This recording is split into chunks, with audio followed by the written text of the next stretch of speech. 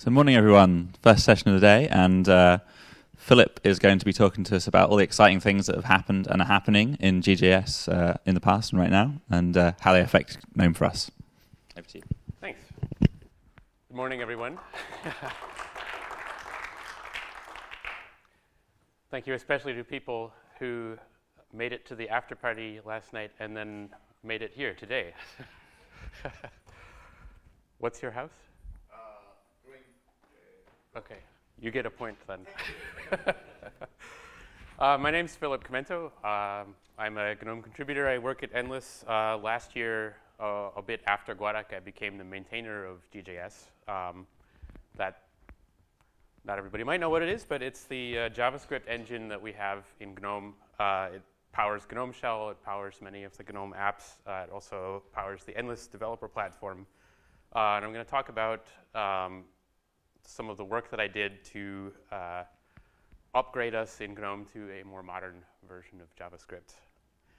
Um, so this talk is for everyone who's interested in it, obviously. You uh, may benefit the most if you've written JavaScript in GNOME. So people who uh, work on the apps like uh, GNOME Maps and Polari, people who work on the shell and shell extensions. Uh, I'd also like to um, sort of pay a little bit of special attention to people who might have tried writing JavaScript in, uh, in GNOME before and then got frustrated because of our terrible JavaScript developer experience with uh, no documentation and uh, um, an, uh, an out-of-date JavaScript engine.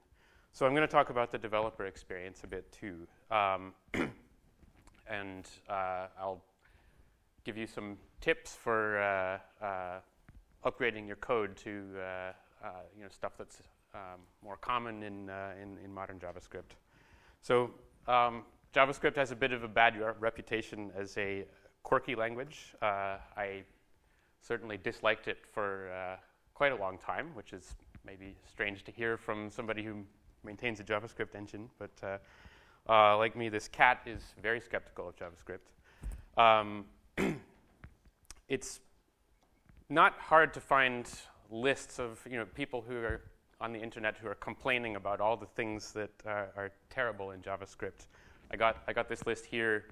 All I had to do was type into Google something like, why does JavaScript make no sense? And click on the first link. And this is from somebody who's on the JavaScript standards committee, yeah, this link here. So um, it boils down to the language was written in, in, in two weeks back in the days of Netscape, and, and it shows.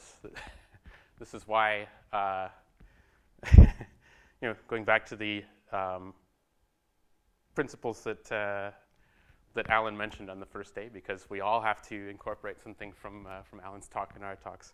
We, in, in GNOME, we have a principle of, uh, uh, of good engineering. And in this case, you know, um, if, if JavaScript hadn't had to live with the decisions that were made in those two weeks, you know, we would have saved uh, billions in productivity when the web took off. But we're working on it. Um, JavaScript has a standards committee. Uh, they're doing great work today uh, to dig the language out of that hole that it's been in for years. Uh, didn't help that not a lot happened for a long time, and uh, also a really interesting thing to consider is at the beginning of the web, the average JavaScript program was one line. One of the uh, Mozilla developers blogged about this, but you would put one line of JavaScript in like an on-click handler in one of your HTML elements, and so the language served a very different need than it serves now.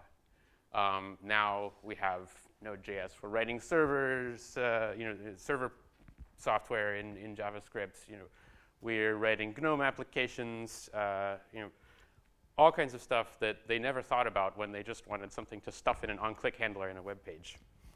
Um, so we're on a good track. The, uh, the language is becoming a lot more like uh, you know, it's gaining a lot of the good stuff that other programming languages have. Um, so in GNOME, um, our JavaScript engine uses SpiderMonkey, which is the engine from Firefox. So it's made by Mozilla. It's published or sort of published as a standalone library. Um, this, I know nobody wants a graph on Sunday morning, but this just shows uh, that until this year, we were lagging four years behind what the state of the art is in JavaScript. And four years is forever in JavaScript land. Uh, you know, entire software stacks get put up on npm and then become obsolete all in the course of one weekend, uh, you know, in the in the Node.js world.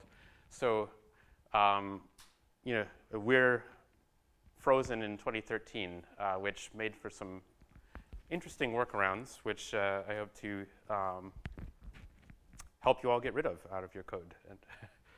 Uh, so here's an overview of some of the uh, new stuff that, uh, that got put into GJS, um, thanks to upgrades of SpiderMonkey.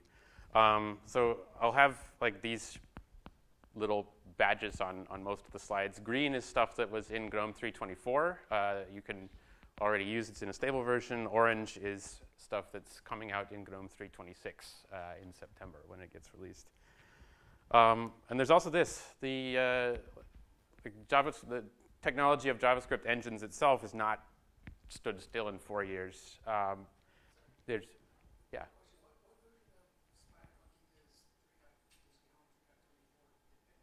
Thirty-eight. Yeah. Um, so there's like there's literally you know millions, perhaps even billions of research money being poured into making JavaScript faster in web browsers, and by uh, you know by sticking close to the state of the art, we take advantage of that as well.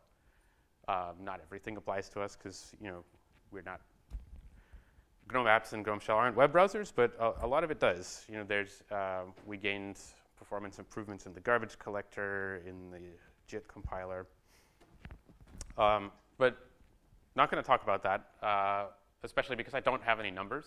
So um, if I know we're having a, uh, an unconference session on GNOME shell performance later, so I'd be interested to hear if anybody has any uh, ideas about uh, gathering numbers. Uh, that would be a great project for somebody to do uh, to quantify this. But I want to concentrate on the goodies that you can use in your code. That's what uh, most of this talk is going to be about. So, like I said, there are a lot of you know workarounds or weirdnesses that we had to do to deal with the JavaScript from the dark ages that we used to have. Um, and so the, the motto of, of this section is going to be you don't have to deal with that anymore. Um, there's, uh, yeah, going to be don't do this, do this now. uh, one thing you can do, which we've actually had for a long time, this isn't even new, but almost none of the GNOME code that I've seen uses it, is uh, don't use lang.bind anymore. So um, yeah, the, the, the this object in JavaScript behaves really weirdly if you're used to like how it behaves in other languages such as Python. And uh, you know, in GJS we had this lang.bind API, which uh, you know, sort of made things work, but it was easy to forget. But you don't have to deal with that anymore. Um, JavaScript now has arrow functions, and uh, you know, you write an argument list, an arrow, and then the function body, uh, and it makes this object behave like you'd expect uh, if you know any other languages. Uh, you just don't have to think about that anymore. You can't forget to do lang.bind and get weird errors of, uh, of this not, not being defined. Um, and you know, it's more readable as well. So, I mean, the, the problems with the this object, um, you know, that's probably the thing that I find most confusing about JavaScript, and I, I would dare say scares off most of the newcomers and even experienced JavaScript programmers like this. this tweet uh, went around a while ago. So, um, another thing that'll be new in 326. Uh, so until um, like the standard update in 2015, JavaScript didn't have classes like other languages. So it had inheritance, but no classes. There was a, you know, you can you could use a very cumbersome syntax to make classes, and everybody had their own custom class API. And so did we. It was called lang.class. Um, but yeah, you can use native classes now, uh, and they yeah they look kind of like uh, um, you might be familiar with from other languages. Uh, this I think this syntax looks kind of like Java, but uh, you know it's it's really no different from uh, most of the other dynamic languages that you might be used to. Um, it doesn't work yet for GObject classes, but I'll talk about that shortly later in the talk. Um, another thing you could do, and this is already in 3.24 if you still use the old lang class, um, there's a method syntax. It's, uh, it's really, you know, it's the, what you see on the right is nothing different from what you see on the left, but you don't have to type out function a million times when you're uh, writing a class. So it's just more readable um, and, and less typing, and I love it. Another thing you can do if your code is littered with plus signs and strings that contain spaces and, and one piece of punctuation is um, that you can use these new backtick strings that we have in GJS. They uh, can go over multiple lines and they can interpolate variables. Um, and it's like just look at the left and the right, it's tons more readable. and uh, you know, there are actually more cool tricks that you can do with post-processing of these strings, but that's something that I'm not going to get into in this talk because it'll take too long, but um, you can ask me about it later. Uh, another thing is that the standard library in JavaScript gained tons of operations. So, like a really common idiom, which is really terrible, but everybody who's programmed JavaScript just sort of reads over it because it's so uh, you know, it's the only way to do it. If you want to test if something is in an array, you have to take the index of it and compare it to minus one. No other language has something weird like that, but now JavaScript uh, can, you know, has uh, an array method for that too. There are other array methods, a bunch of string methods, and um, but these two are my favorites. You can read about the other ones. Uh, there are also a couple of, uh, of things that um, are not backwards compatible on upgrades. So uh, mostly because of extra features that SpiderMonkey provided, but that eventually made it into the standard in a slightly different form. Uh, so those are gotchas when you're uh, upgrading your program one of them is uh, this syntax. It used to be just fine to declare a variable twice, but it's not now. This will be a syntax error, so it'll fail fast. Uh, it's not going to blow up in the middle of your program. Um, another gotcha is when you're writing modules that your code imports, uh, you have to declare your variables that you want to see exported with var, not uh, const and let uh, because they will be invisible. Uh, this would break like pretty much every single file of JavaScript code that we have in GNOME. So uh, we managed to get it to work backwards compatibly, but since it is not part of JavaScript, it'll give you a warning if you do this. It'll work for the time being, but fix your code. Um, this one is pretty minor, but it's probably the worst one, so I wanted to highlight it here, call it out. Uh, the form of the string replace function with the three arguments, uh, the third argument is now silently ignored because it was a Mozilla extension and they took it out. Uh, so, yeah, if you're trying to replace more than one thing in a string, use a regular expression literal instead of the third argument. Um, if you want to read more about all this, uh, Mozilla has a really nice series of blog posts called uh, ES6 in depth. Um, and yeah, as of GNOME 3.26, all of the stuff they described there you can now use except for ES6 modules. Uh, so if you're writing JavaScript and you want to go more, uh, you want to know more, um, yeah, go visit this link and, and, and read, the, read the series of posts. Another thing you can do uh, is this slide deck has a huge appendix of all the stuff that uh, got added. Uh, obviously, I'm not going to talk about that here in this talk, but I'm going to put these slides up after the talk is over, uh, and you're welcome to use that as a reference and page through like the extra 30 slides that are after the end and uh, uh get an overview of what's, uh, what's been added. Um, there are a few more custom things for GNOME that I wanted to take a look at, uh, how you know, new stuff that we're doing. Uh, so another new feature in 324 was uh, promises. So if you're not familiar with promises, it's uh, an easy way of writing uh, you know, asynchronous code, so like I/O operations, uh, where you don't have to deal with callbacks. Um, so GJS includes promises, but right now it doesn't include a bridge between like, the GIO operations with callbacks and promises. Um, so this sample code here, it uses a fictional function that uh, called wrap promise, which uh, you know, I've, I've written it. I can share it with you. You can include it in your code so that you can use promises, but it's not part of GJS yet. Um, so you can take advantage of this, but it, there's, uh, yeah, you have to include a function. It's not going to be part of the API. Um, what I would like to do is uh, have it automatically work, this bridging. Uh, there's a GObject introspection bug that we need to solve. So if you want to help out with that, then uh, let's talk about it during the unconference session or sometime during the break.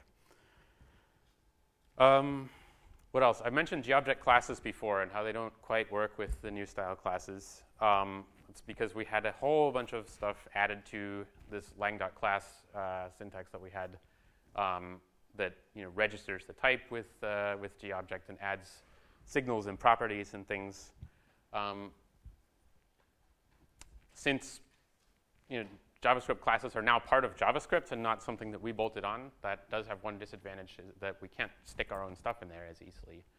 Um, so this syntax that I've got up here, this is about what it will look like probably, but I'm still trying to work out some problems with that. Uh, I also want to make sure that it's forward compatible because in a future SpiderMonkey update, we will be getting decorators in the language. Uh, and that will be awesome because uh, you can just write it like this, and it'll look like it does in, uh, in PyGObject, for example. Um, so.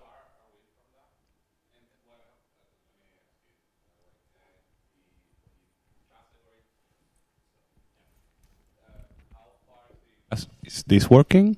Yeah. Yeah. Is the how far are we from the class decorator in the language? That's kind of Um, it's in.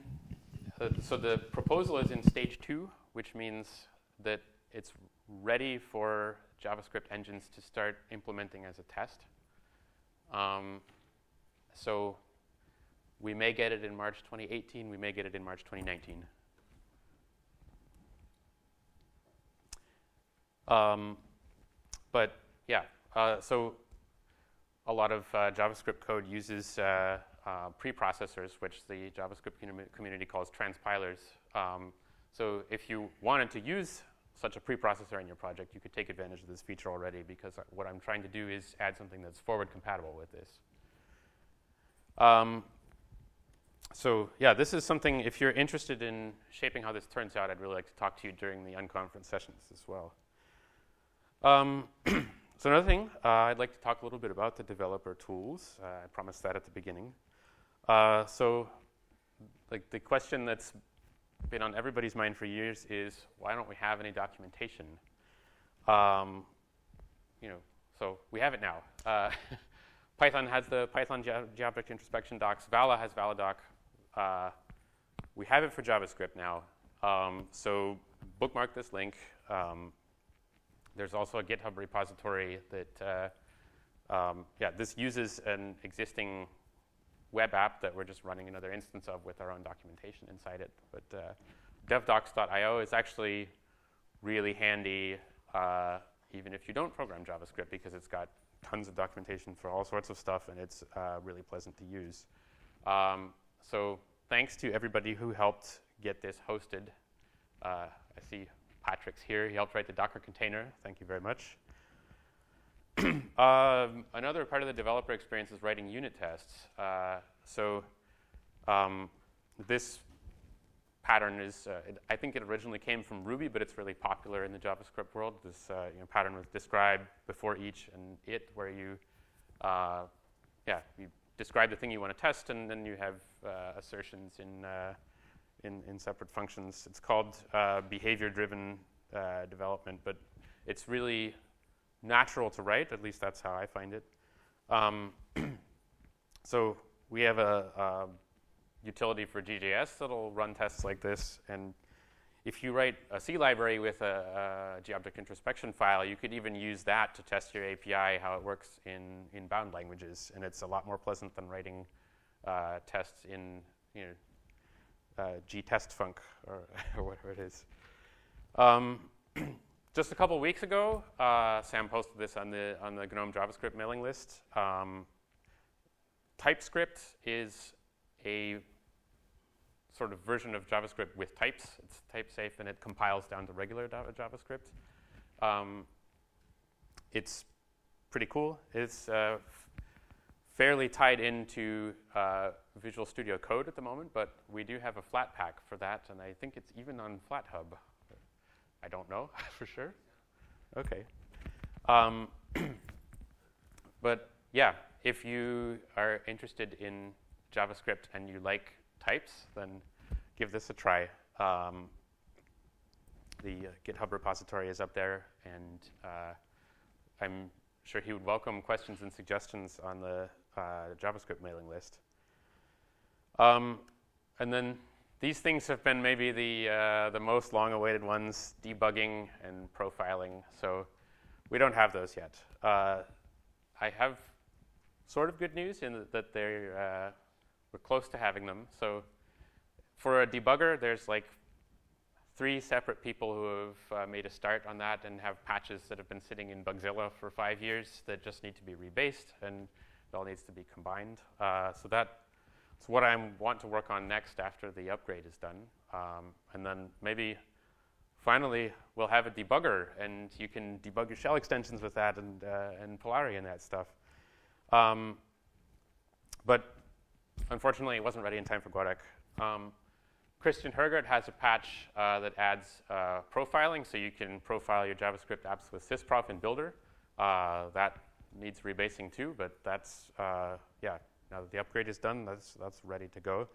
So I hope to have more on this slide, but uh, um, yeah, ask me again in another month or so. Um, that's about it. So thanks to the GNOME Foundation for travel sponsorship. Thanks for to Endless for paying for some of this work.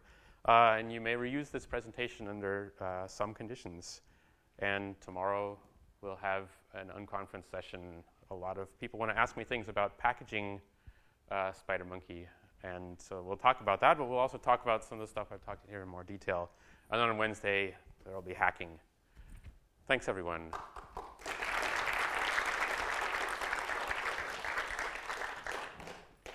Alberto. Uh, so the shell has the looking glass, and you have tab completion. When are we getting that in the GJS uh, shell on the terminal? Oh, uh, that's a good question. I didn't actually know there was tab completion in Looking Glass, uh, so I guess it should be easy to steal that into the uh, uh, into the command line shell. Cool. Any other questions? In that case, thanks very much, Philip. Thank you, everyone.